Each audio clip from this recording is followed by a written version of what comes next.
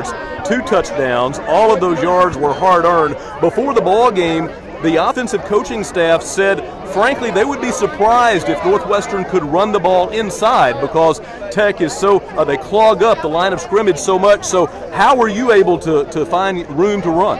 Heck, I mean, I got to get a lot of that credit to the O line. I mean, it was tough yards, but it was also tough blocking. So, I mean, we, we scrapped for everything we got, and uh, I know that if I get hit, I mean, it's my job. I can't I can't just go down off one hit. I've got to be able to scrap for every every yard we get. You know, even if it's one yard.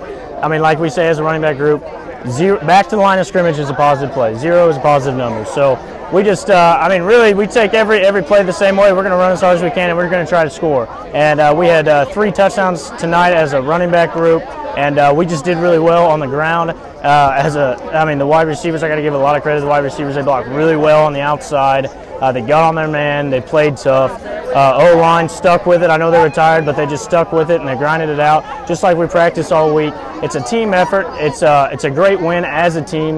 That's why it feels so good, and uh, that's uh, that's one of the reasons. I mean, that's the reason we had success tonight. What does it do for the offense when the defense plays like it did tonight and came up with so many turnovers, so many tipped balls?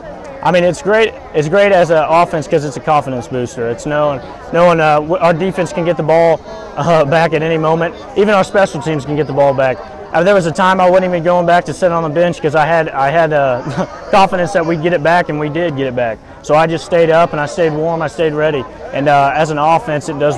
We we we enjoy the factor of getting the ball as much as we can, and then our defense allows us to do that with all the turnovers they they make. One last question what does this win do for this team, considering you have an off week and you open conference play at third-ranked Southeastern Louisiana in two weeks? You probably feel like you can beat anybody. Well, this uh, this game is a definitely a confidence boost, booster, but I think more of it is a uh, team builder.